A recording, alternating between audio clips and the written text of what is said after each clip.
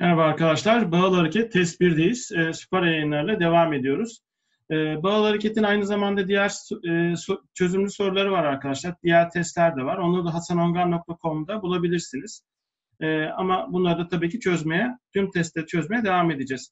Şimdi e, göreceli olması hareketlerinin insanlarda e, bazı yanılgılara sebep olmuştur. Ee, yukarıda yani ki olaylardan 1-2-3 olaylarının hangileri bu yanılgılardandır diyor.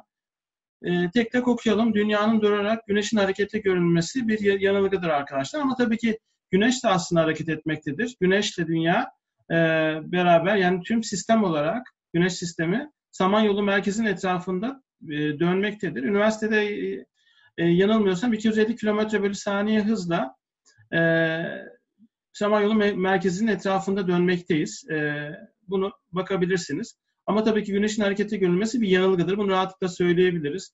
Hareket ederken yol kenarındaki ağaçların geri gidiyormuş gibi olması bu da kesinlikle e, bir yanılgıdır arkadaşlar.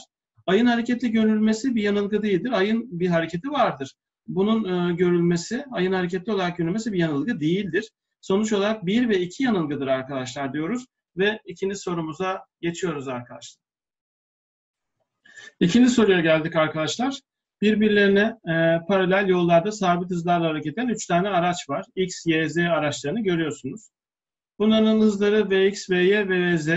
Şimdi ne demiş? X aracı Y'yi kendinden uzaklaşıyor görüyor diyebiliriz. Eğer uzaklaşıyorsa Y'nin hızı X'ten büyüktür. Yani buna 20 kilometre dersek buna 30 diyebiliriz değil mi? Yani e, Y 30 olursa X de 20 ise Y'yi kendisinden uzaklaşıyormuş gibi görür mü? Evet görür. Peki Z'yi kendisine yaklaşıyormuş e, gibi görürse de o halde Z'nin hızı ne olacaktır? E, kendisinden küçük bir hızı olacaktır ki e, kendisine yaklaşıyormuş gibi görsün. Dolayısıyla burada bu sıralamayı yaparsak o halde Vy büyüktür Vx, o da büyüktür Vz şeklinde diyebiliriz. Yani A şıkkıdır diyoruz. Ee, ve diğer sorumuza geçiyoruz. Burada göreceli hız kavramı var arkadaşlar. Göreceli hız kavramında şöyle kısaca hemen bir bahsedelim. Ee, gözlenen e, nasıl e, görünüyor? Y'yi e, kendimizden uzaklaşıyormuş gibi görüyoruz. E, burada bağıl hızı bulurken şöyle yazıyoruz. V bağıl eşittir. E, neydi? Ve gözlenen eksi ve gözleyen diyoruz arkadaşlar. Gözlenenden Neyi çıkartıyoruz? Gözleyeni çıkarttığımız zaman bağıl hızı bulmuş oluyoruz arkadaşlar. Bunu da antiparantez söyleyeyim. Diğer sorumuza hemen geçelim. Evet arkadaşlar üçüncü yoldayız. Yani üçüncü sorudayız. Ee, tabii yol çıkınca e, soru yola dönüştü. Böyle bir karışıklık oldu. Şimdi bunu ben artı olarak kabul ediyorum. Bunu eksi olarak kabul ediyorum. Bunu da artı olarak kabul ediliyor arkadaşlar. Sonuçta de, tabii ki bir bağlı e, sorusu. Diyor ki M'nin L'ye göre hızının büyüklüğü K'nın e, K'ya göre hızının büyüklüğüne eşittir diyor. Bir cümlede biraz e, düşüklük var ama e, şimdilik e, şöyle yazalım. VM L'ye göre hız dediğimiz zaman ters çevirip ve ekleme yapıyorduk değil mi? VM artı VL haline gelmiş durumda. Ters çeviriyorum ve ekliyorum. Bu neye eşittir arkadaşlar? VM'nin e, K'ya göre hızının büyüklüğüne eşitmiş. Ve bunlar büyüklük dediğimiz zaman o halde bunların bir e, mutlak değerlerini şöyle bir alalım mı? Alalım. Dolayısıyla e, buradan e, ne çıkacaktır arkadaşlar? E, buradan şu çıkacaktır. VM'ler tabii ki eşit olduğunda VL eşittir. Eksi VK gibi bir e, ifade çıkabilecektir arkadaşlar. Peki eğer e, K büyük M olursa arkadaşlar ne olacaktı? Tabii ki bu gene VM artı VL şeklinde bunu yazabiliriz. K büyük M olduğu zaman da dolayısıyla VK eksi VM olabilecek. Buradan da e, M'yi öteki tarafa attığım zaman arkadaşlar 2VM olacak. Artı VL ne eşit olacak? VK vektörünün değerine eşit olacak. Şimdi tek tek yapalım. VK VM'nin M'nin iki katına artı VL'nin toplamına eşit olabilir mi? Olabilir. E, yani K L'den büyük olabilir mi? Olabilir. Peki bu duruma göre L M'den büyük olabilir mi? O da olabilir. Yani şöyle diyelim. Mesela bu 0,25 olabilir. Bu kaç olabilir? 0,6 olabilir değil mi? Dolayısıyla L M'den de büyük olabilir. Ama M K'dan büyük olamaz çünkü M'nin iki katını alıyoruz burada. Artı üzerine VL ilave ediyoruz. Sonra MVK'ya ulaşıyoruz. Sonuçta bu olamaz diyoruz arkadaşlar. Yani olabilecek hangileri vardır? 1 ve 2'dir diyoruz ve dördüncü sorumuza geçiyoruz. Evet, dördüncü sorudayız arkadaşlar. Ee, KLM araçlarının eşit bölmelendirilen düzlemde hız vektörü verilmiş. VK ve bir de VLK verilmiş. Yani K'nın L'ye göre hızını vermişler. Ee, bir de L'nin M'ye göre hızını vermişler arkadaşlar. Buradan M'yi bulmamız isteniyor. Şimdi e, K'nın L'ye göre hızı verildiyse o halde e, ters çevirip ucuna eklediğimizde e, yani gözlenenin ucuna eklediğimizde gözleyeni e, VLK'yı elde edebilmemiz için nasıl bir vektör olacak VL'nin e, vektör uzunluğu? iki birim sağa doğru bir vektör olacak arkadaşlar. Şöyle yani bu vektörü burada işaretlemiş olduğum şu an yazmış olduğum vektörü ters çevirip VK'nın ucuna eklediğimiz zaman bunu elde edebiliyoruz. Dolayısıyla neyi bulmuş durumdayız şu an? V, L'yi bulmuş durumdayız. İki birim sağ arkadaşlar. Peki V, M, L'yi bulabilmemiz için yani L'nin M'ye göre hızını bulabilmemiz için e, V, L'yi şuraya şöyle taşıyalım. Hemen altına da VL diye yazalım. V, M, L'yi elde edebilmemiz için yani M'ye göre dediğimiz zaman M'yi ters çevirmemiz lazım değil mi? Aşağıdaki vektörlerden hangisini ters çevirirsek 1'i, 2'yi, 3'ü, 4'ü ya da 5'i çevirirsek ve ML'yi elde edebiliriz. Tekrar sorumu yeniliyorum. Aşağı buradaki şekil 2'deki vektörlerden hangilerini ters çevirip VL'nin ucuna eklediğimiz zaman ve ML'yi elde edebiliriz arkadaşlar. O da 4 numaralı vektör oluyor. 4 numaralı vektör şu şekildedir. Ne tarafa doğrudur? Ee, sola doğrudur. Bunu ters çevirip ucuna eklediğimizde sonuç olarak e, bu nedir? Hangi vektördür? V, M vektörüdür arkadaşlar. Ters çevirip VL'nin ucunu eklediğimizde VM'yi ve ML'yi elde etmiş olacağız. 4 numaralı vektörü ters çevirip VL'nin ucuna eklediğimizde VML elde edilmiş durumdadır arkadaşlar. Yanıtımız D seçeneğidir diyorum ve diğer soruma geçiyorum. Evet, 5. soruya geldik arkadaşlar. Yere göre hız büyüklükleri VK ve de VL verilmiş. Şimdi e, K'nın L'ye göre hızı sorulmakta arkadaşlar. Daha doğrusu e, hangileri kesinlikle doğrudur diyor. Şimdi arkadaşlar bir kere bu kenarla bu kenarın birbirine eşit olup olmadığı ile ilgili bir bilgimiz yok. Ancak VK'nın e, doğu doğrultusundaki bileşeninin VL olduğunu bilmemiz gerekiyor. Şimdi biz neye bulacağız? K'nın L'ye göre hızını bulacağız arkadaşlar. E, ters çevirip bunun ucuna eklediğimizde şu şekilde ne tarafa doğrudur? Batı istikametine doğrudur arkadaşlar. Sonuçta e, K'nın başlangıcıyla e, ters çevirip e, K'nın ucuna eklediğimiz vektörün yani L'nin tersi tersinin son noktası neresi ol, olacaktır arkadaşlar? Bu nokta olacaktır. E, bu bulduğumuz ve K'nın L'ye göre hızıdır. Dolayısıyla onu bulmuş durumdayız ve kuzey yönündedir. Kesinlikle doğrudur arkadaşlar. L'nin hızına eşit büyüklüktedir. Başlangıçta dediğim gibi bu iki kenarın birbirleriyle eşitliği konusunda bir bilgimiz olmadığı için bununla ilgili kesin bir şey söyleyemeyiz arkadaşlar. K'nın yere göre hızının büyüklüğünden küçüktür. Yani e, buradaki bu vektör bu vektörden büyüklük olarak küçüktür. Neden? Zaten VKL kuzey doğrultusunda VK'nın iz düşümüdür arkadaşlar. Dolayısıyla VK'nın VKL'den daha büyük olacağı e, bilinen bir gerçektir. Aşikardır. E, çünkü iz düşümü bir vektörün kendisinden normalde küçüktür. Dolayısıyla 3 de doğrudur diyoruz ve 5 numaralı sorumuzun doğru cevabı D seçenektir diyoruz ve 6. sorumuza geçiyoruz arkadaşlar. Evet, altıncı soruya geldik arkadaşlar. Şimdi kuzey-batı yönüne gitmekte olan bir otomobil. Şöyle bir e, yönlerimizi çizelim. Bu yön e, kuzey yönü, batı yönü, doğu yönü, bir de bu da güney yönü arkadaşlar.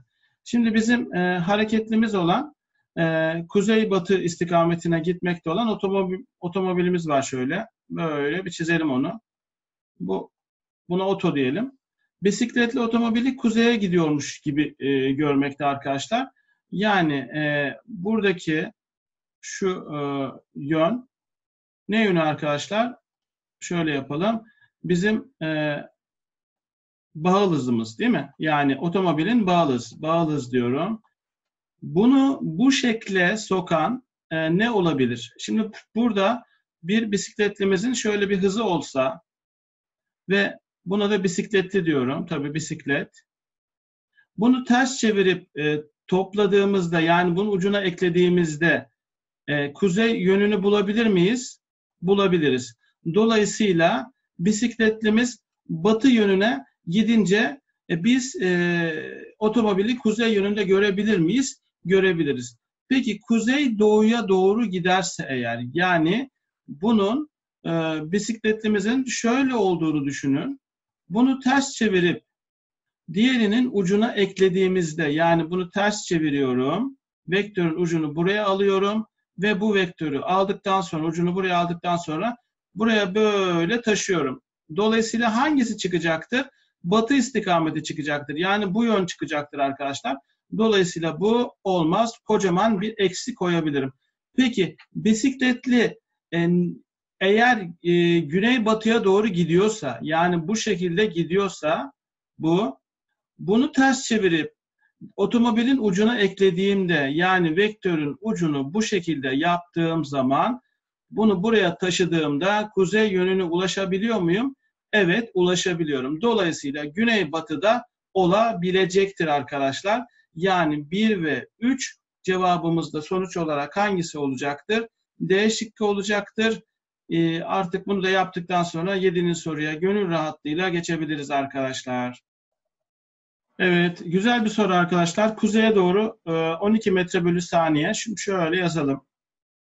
Yine bunu çiziyorum. Şöyle bir.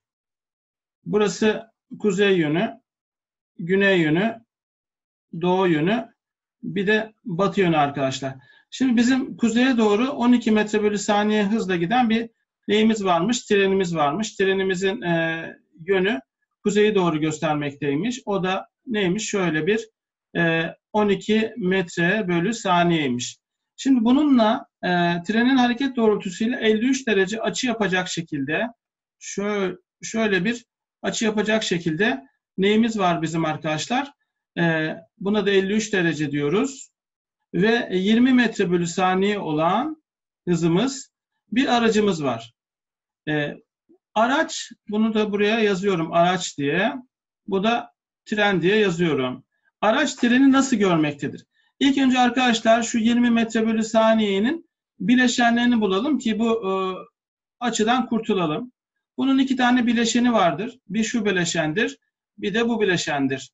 Şimdi 20 metre bölü saniyenin yatay bileşenini bulmak istediğimiz zaman neyle çarparız arkadaşlar? Sin 53 ile çarparız. Dolayısıyla burası ne olacaktır? 16 metre bölü saniye. Yani aracımızın batıya doğru 16 metre bölü saniyelik bir yatay bileşeni var. Peki bunun dikey bileşenini kosinüs 53 ile çarptığım zaman o da 0.6 etmektedir arkadaşlar. Dikkat edin o da aynı yöndedir. Bu da aynı yöndedir. Bu da nedir? 12 metre bölü saniyedir. Bu da aracımızın dikey bileşenidir.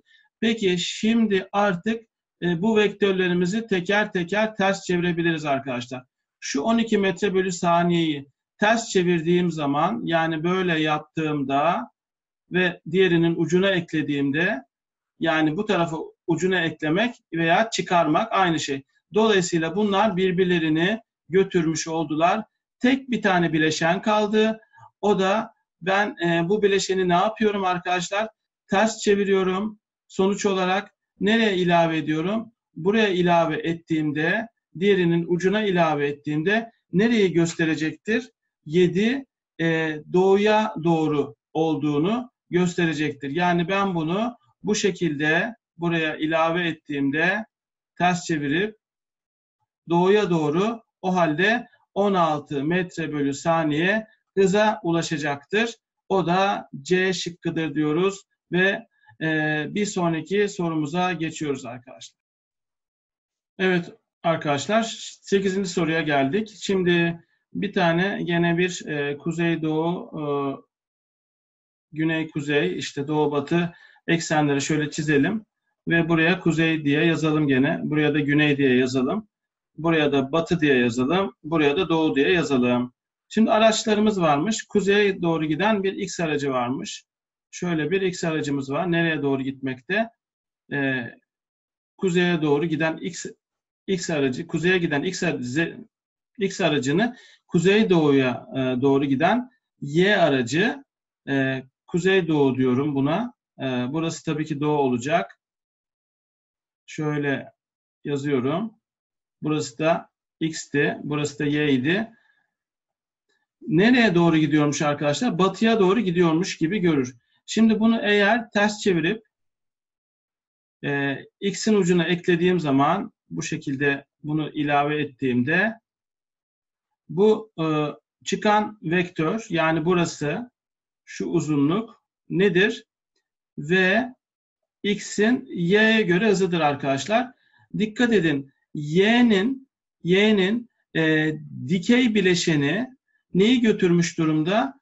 x'in dikey bileşenini, kuzeye doğru olan bileşenini götürmüş durumda. Ters çevirip ucuna eklediğim zaman o halde ne kaldı sadece? Batıya doğru giden x kaldı değil mi? Yani göreceli bir hız. Yani bağıl hızı bulmuş durumdayız. O, o halde y'nin dikey bileşeni e, x'i götürdüğüne göre kendisi zaten neden büyüktür? x'ten büyüktür. O halde vy büyüktür ve x diyebiliriz değil mi arkadaşlar?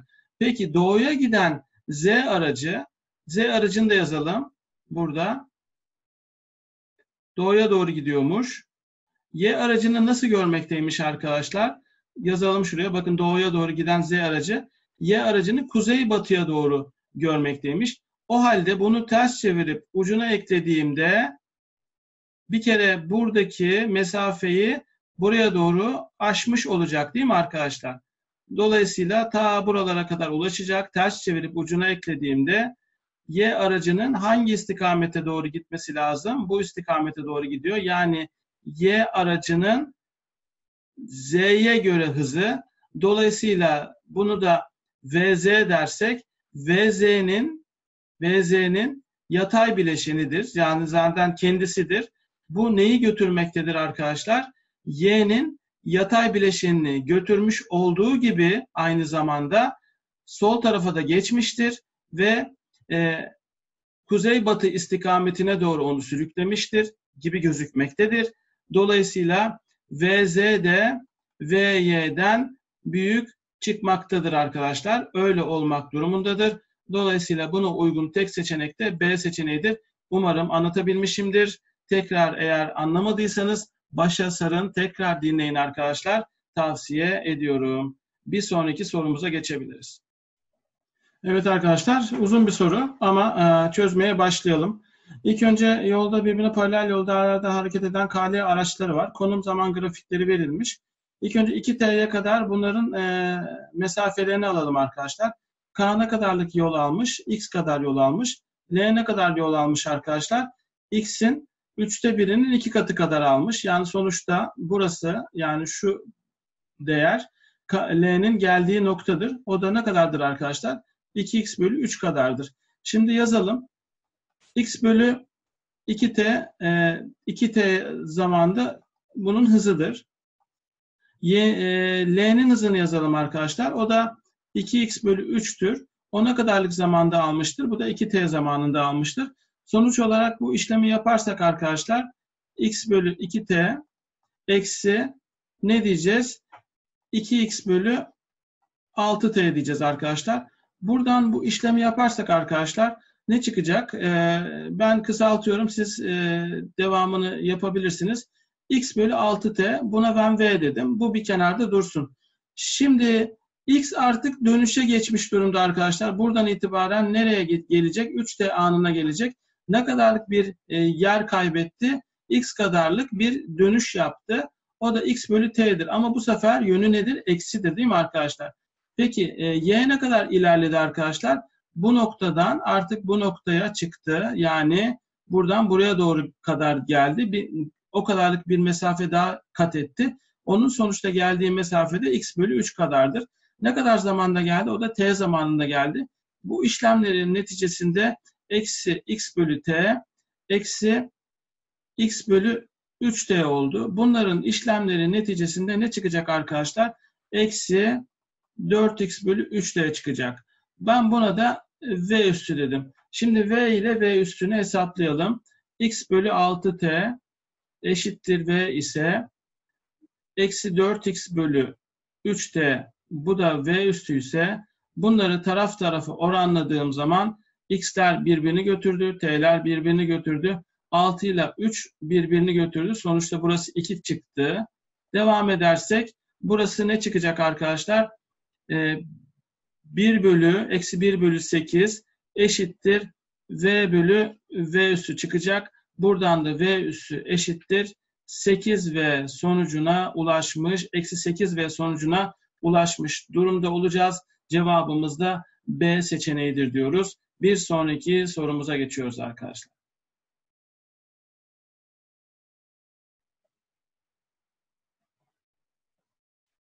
Evet, son soruya geldik arkadaşlar. Son soruda KLMN araçları var. Yere göre hareket şekilleri belli. LMN araçlarından hangileri K aracını batı yönünde gidiyormuş gibi görebilir diyor arkadaşlar. N'den itibaren başlayalım. N'yi e, ters çevirip ucuna eklediğimiz zaman şu yönde N'yi yazdığımızda şu yön ne olacaktır? Hangi yön olacaktır arkadaşlar? Kuzey-batı yönünde olacaktır. Dolayısıyla N aracı olamaz. Peki L'yi ters çevirip ucuna eklediğim zaman e, K'nın e, bunu hemen aldım ve ters çevirdim. Buraya doğru bunu ekledim. E, yani bunun uzunluğu e, tam batı no, batı doğrultusuna yönüne gelmiş. Tam şu noktada e, öpüş bu noktayla öpüşmüş olabilir. Dolayısıyla L bizim için olabilir. Peki M'yi e, alıp ters çevirip şuraya ucuna eklediğim zaman bu şekilde gene tam şu nokta batı e, doğru yönüyle tam şu noktada öpüşmüş olabilir. Sonuçta M de olabilir arkadaşlar. O halde sadece L ile M'dir. Yani yanıtımız D seçeneğidir. Bir testimizi daha e, tamamladık arkadaşlar. Şükürler olsun. Sonuçta diğer testlerimize de mutlaka devam ediyoruz. Bizi takipte kalmanızı rica ediyorum arkadaşlar. Lütfen abone de olmayı unutmayın arkadaşlar. Abone olursanız olursanız sevinirim arkadaşlar. Hepinize iyi geceler diliyorum. Ee, bir gecenin daha sonuna geldim. Görüşmek üzere. Sağlıcakla kalın arkadaşlar. İyi günler diliyorum.